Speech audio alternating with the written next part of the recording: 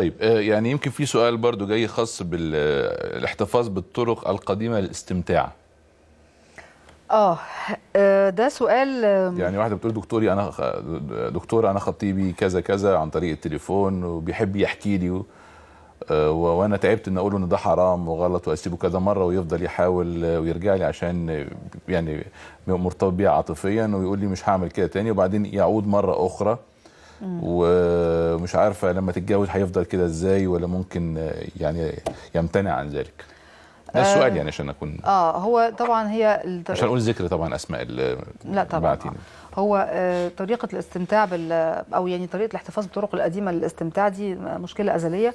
ممكن يكون عن طريق عادة سرية بطريقة معينة ممكن عن طريق مشاهدة أفلام الإباحية ممكن عن طريق ممارسة الجنس عن طريق التليفون زي الأخ اللي هو خطيب ال- السائلة ده. آه وبنقول له إن هو المسألة كلها هي مش مرض علشان بس هو ساعات بيخلصوا نفسهم من المسؤولية يقول لك أصل ده مرض أنا أعمل إيه؟ آه أنا لازم أتعالج ولا إيه؟ أنا لا هو مش لازم تتعالج أنت لازم تبطل.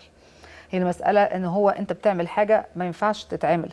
آه، أوكي كان عذرك فيها وهو عذر برضه غير مقبول بالمناسبة بس كان عذرك فيها إنك أنت كنتش متجوز ما كنتش محصن و. لكن دلوقتي ليك شريكة في هذه العلاقة فالشريكة دي بتنجرح إنك أنت تعمل كده عن طريق التليفون لأن هي في واحدة تانية بتشاركك فيها وواحدة تانية كمان بطريقة غير مشروعة بطريقة مش حلال بطريقة آه، تقلق حتى الزوج زوجتك المستقبلية اللي هي ما بقتش مراتك أصلا لسه. أمال لما تتجوز بقى وأنت يعني لسه خطيبتك وبتروح تحكي لها وبتقول لها بتقول لي وبتقول لي وبتثيرني بالطريقة الفلانية وبنبسط. فهي بتقول إن هو مرتبط بيها عاطفيا ويرجع يقول لها أنا بحبك ما أقدرش أستغنى عنك. لا ما هو آه، هنا لازم الشروة على بعضها.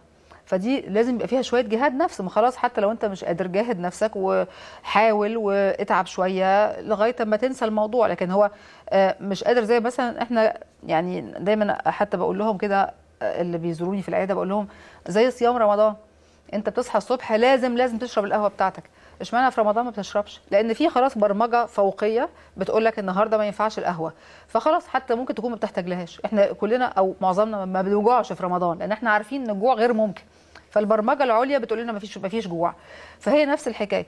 لكن هو مش عايز يجاهد نفسه. هو مكسل فعايز يبقى على المعصية وكمان ياخد العاطفة وده مش ممكن. فهي لازم تتكلم معاه بالطريقة دي ولازم تاخد موقف لأن هي بتسهل عليه المهمة. كل ما تروح وترجع له وتصالحه وتتقبل اعتذاره هي بتسهل عليه مهمة إن هو يبقى على الوتيرة القديمة. آه، سؤال جاي من سيدة فاضلة بتقول إن زوجها يريد أن يأتيها بما حرم الله وإنها بتمتنع عن ذلك. ف يعني يعنفها بالضرب يعني وإنها تحاول أن تقنعه أن القرآن والسنة يحرمان ذلك. آه، هو طبعا ده لازم إن هي يا إما تاخده تروح دار الإفتاء يا إما تقعد مع شيخ يقنعه بالكلام ده.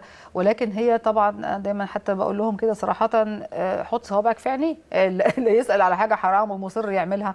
لا تحط صوابعها في عينيه وت- وتهدده بقى بأي حاجة هي أدرى بيه. تهدده بأكتر حاجة بتضايقه هي مثلا لو هو يهمه منظره قدام آه، أسرته يبقى تهدده إن هي هتقول لأسرته. منظره قدام أصحابه تهدده إن هي هتقول لأصحابه. لكن هي من حقها إنها لا تبقى في هذه العلاقة طالما إن هو طريقتها طريقته الوحيدة أو الأساسية للاستمتاع.